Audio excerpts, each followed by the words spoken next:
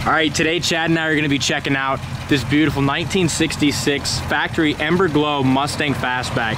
Um, and it has been a while since we had a Mustang Fastback. Of late, you know, there's not many on the market and they've really shot up in value in the last couple years. They did. I mean, the Mustang Fastback from 65 to 1970 are freaking gold. Mm -hmm. Yeah, they are.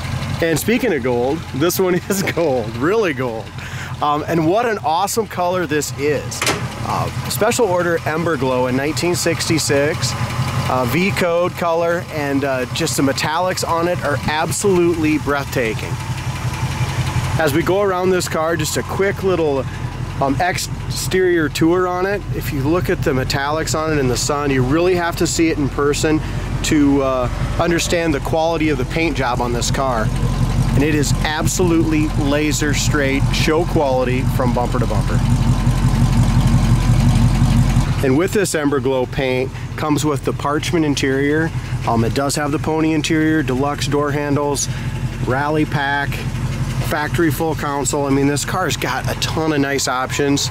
As we go underneath the hood, it's got power steering, Wilwood front disc brakes on it, aluminum radiator, and uh, it's got the factory tag and stuff on here, 1966, 289. That's how smooth that thing runs too.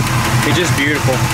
It does have the factory tranny in it as well, as far as the 66 289 on that as well. It's got the factory tag there.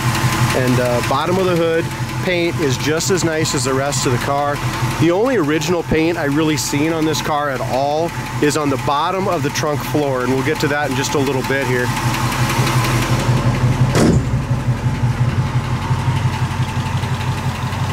Another thing with this car is the gaps are fantastic. No matter where you look, um, the fit and finishes very Yeah, if you're looking for just a, a super nice, legit 1966 fastback, this is the one, you guys. You don't see too many of them in the Emberglo. And like Dalton pointed out, the gaps are awesome on this car. As you go all the way around, the top of the door here matches the top of the cowl perfectly. Back edge of the hood. The top of the fenders and the top of the car just looks like glass. Yeah, it does. All new bumpers, all new chrome, horse and corral during the restoration.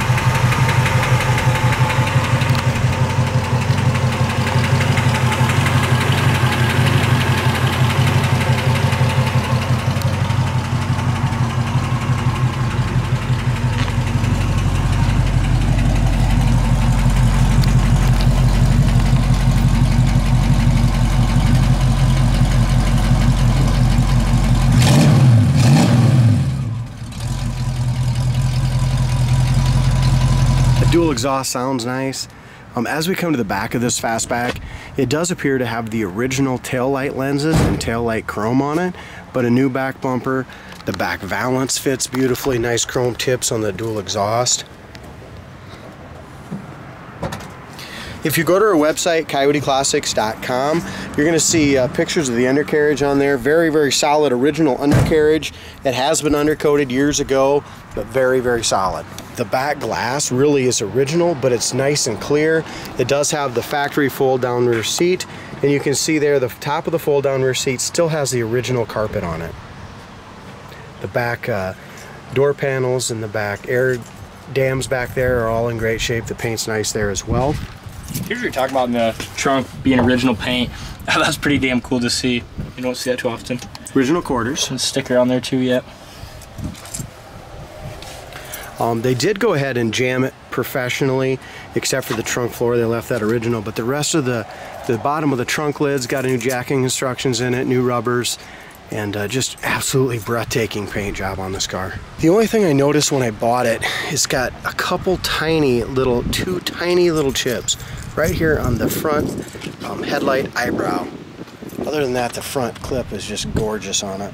And I'm so glad they didn't do a color change on this car. Oh. Like you said, the Emberglo's rear color in 66. And a great color. Yeah, it is. But it is one that you really have to see in person. You see all the metallic in it, it looks fantastic. Tires and wheels, it's got the Magnum 500s, uh, 205, 205 60 15s on the front. BFG raised white letter tires are in excellent shape. It does have the dual chrome mirrors and the chrome um, wing windows here are original and they're in excellent shape. Let's check that out. Isn't that just a cool color? Yeah, it is. Really changes in the sunlight.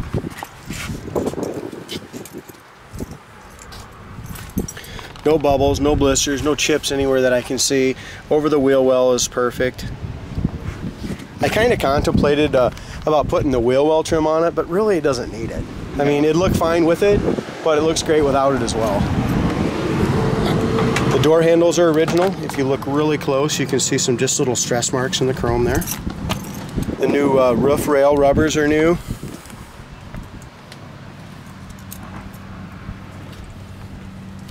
Door jamb paint is excellent.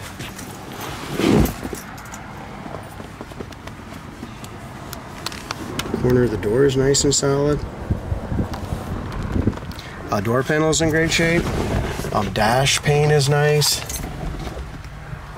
The horn works. Um, we'll get to it in a little bit, but the rally pack works on it as well.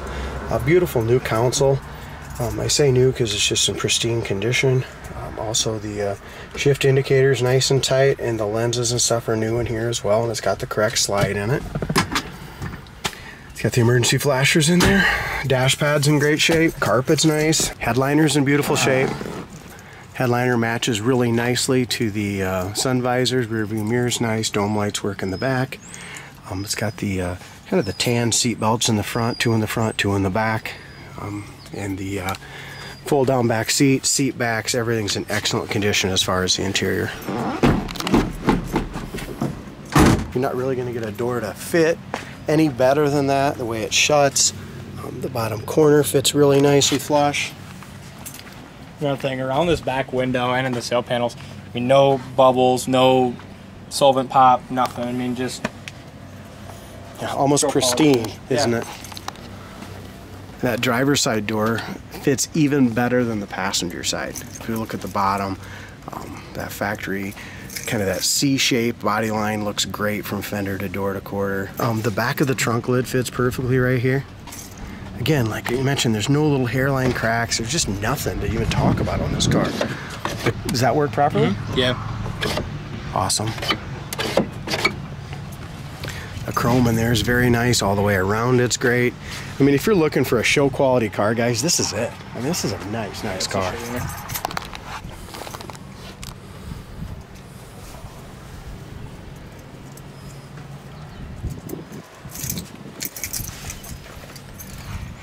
Top of the fender, top of the door, all the way body line. Lines look great. Same thing with this side. The wing windows, super clean. The mirrors are nice. Got the correct gaskets on the mirrors. Door locks work. Yeah, door locks work nice. There is one tiny little chip right here by my thumb. And touched up correctly, does have one there. Um, color is V. Trim is F4. Date is 19A. DSO 74. Axle F. Trans is 6. Corner of the door is perfect. Bottom of the door, door panel, deluxe handles, deluxe door panels. Really just a quality car. As far as our seats go, along the cords and edges are perfect. There's no issues there whatsoever. Door jamb paint's nice. Let's get this beer. interior lights do work when you have your door open. All your cargo lights back, Yeah. your lights in the door panels. Um, just another And that's just the way that and underneath lights work. I mean, that's just the way this car came in. I mean, this car has had excellent care. Here we go. see how easy she starts. And the right key.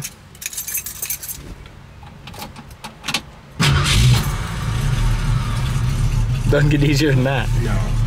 Um, it's got 7,406 miles on the odometer. I'm guessing it's 107. Gas gauge works, oil pressure sitting here at an idle is right in the middle between middle and high. Clock works even. Clock works, tach works. Sounds good too. Um, and you guys might have you guys might have heard this, and I just noticed it now, or we would have adjusted it. We have just a little bit of a lifter noise, just maybe adjustable um, lifter here, um, rocker arm. So we'll adjust that. So just a little tiny tick there. Uh, temp gauge works as well. So Your fan works, wipers work, one speed wipers. It's ready to go.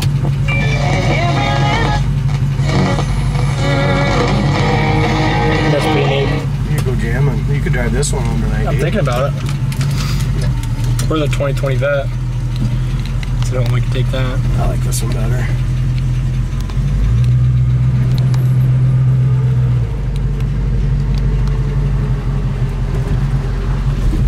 Could be just a little exhaust. That tip could just be just a little exhaust leak too. One or the other. Yeah. Either or we'll get it looked at. Yeah.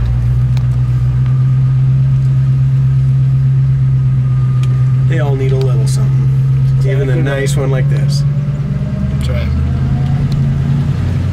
That's one thing about a classic car, guys. I mean, I don't care. This car is freaking pristine. But I don't care how nice something is. Like I can find something wrong, a drip, or you know, they're all gonna drip a little bit in your garage. I mean, that's one thing at Coyote Classics. I can't ever say a car will never drip. I mean, They're an eighty percent of them do. If they don't when you get them, they're gonna six months from now. You're gonna have some sort of a drip on an old car. Mm-hmm. Just part of owning them, unfortunately. And those Wilwood disc brakes. Remember when you drove this day? You barely have to mm-hmm. touch them things. They're nice. Yeah, they are. They, They don't really like nice. throw you through the windshield, but they're just very nice and responsive. Mm-hmm. Turn signal indicators work. Oops, let's go. She wants to see the car from this angle.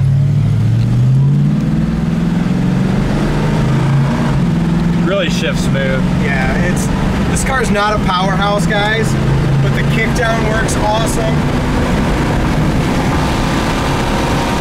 Drives fantastic. Right up to 60 mile an hour. When we're going about 60, oil pressure's way up on high. Kickdown works great. Shifts to 4,000 RPM, then back down.